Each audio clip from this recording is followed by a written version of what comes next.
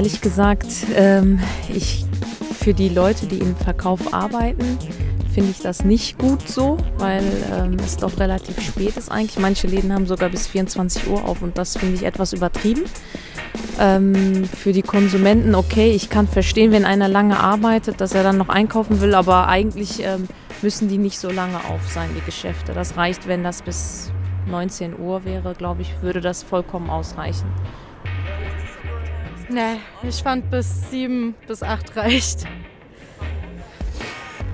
Ähm, weil ich finde, ich finde das eigentlich unmoralisch, wenn Läden so lange offen haben. Und das ist nicht richtig. Ja, ich finde das sehr gut. Nur manche Läden sollten länger geöffnet werden.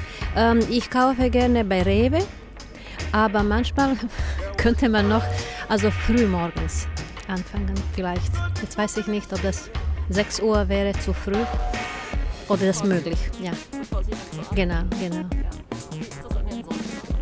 Sonntag ist fantastisch. da kann man spazieren gehen, einkaufen. Das finde ich toll. Vielen Dank, das finde ich. Ja, das finde ich fantastisch.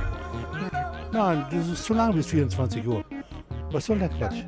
Ja, da geht steht doch keiner mehr drin. Wenn wir abends aus dem Theater kommen, dann kommen wir um halb elf äh, mit der Straßenbahn an der Fenloher Straße an, bei Rewe. Da stehen dann zwei Leute drin um halb elf. Was soll der Quatsch? Und die Leute, die dann am Samstag arbeiten, die möchten auch Feierabend haben. Und deshalb bin ich der Meinung, 16 Uhr Feierabend. Samstag 16 Uhr und normalerweise bis 20 Uhr ist meine Meinung. Ich bin davon nicht betroffen, dass ich um 22 Uhr Arbeit, äh, einkaufen muss. Aber ich finde auch so für die Verkäuferinnen und so würde, müsste das eigentlich reichen.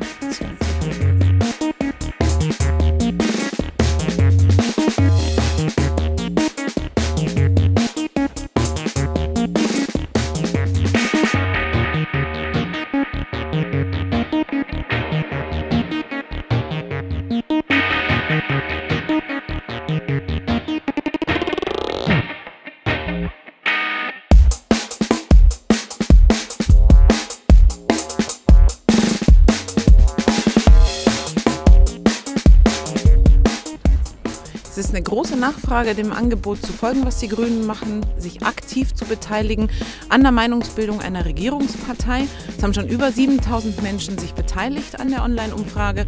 Sie läuft noch bis zum 4. März und wir erleben hier gerade trotz der kalten Temperaturen, dass Menschen während ihrer Mittagspause eben an den Rechner gehen, sich aktiv einmischen und ihre Meinung kundtun, damit eine kluge und weise Entscheidung, die eben auch aktiv mit einbezieht, was wollen die Bürgerinnen und Bürger in Nordrhein-Westfalen, wie stehen sie zu den Ladenöffnungszeiten, soll alles so bleiben, wie es ist oder soll man es ändern, ähm, gefällt werden kann.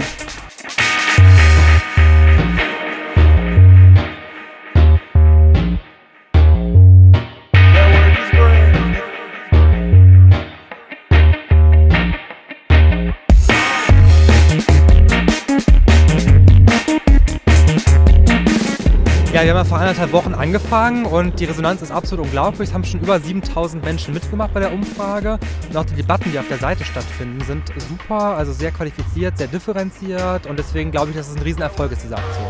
Also ich glaube, dass Parteien gut daran tun, bevor sie wichtige Entscheidungen treffen, die den Lebensalltag der Menschen wirklich betreffen, ähm, dass sie wirklich breit beteiligen. Und da ist natürlich das Netz bietet ganz neue Möglichkeiten, wie wir es jetzt eben auch bei den Ladenöffnungszeiten halt machen. Und ich glaube, dass es ein Instrument ist, das wir als Grüne auch in Zukunft öfters nutzen werden.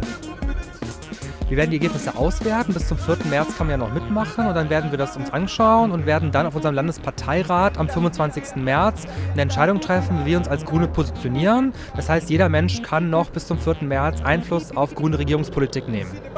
Ja, bis zum 4. März läuft unsere Aktion noch. Auf www.grüne-nrw.de kann jeder und jede Einfluss auf grüne Regierungspolitik nehmen. Beteiligt euch und gestaltet Nordrhein-Westfalen mit.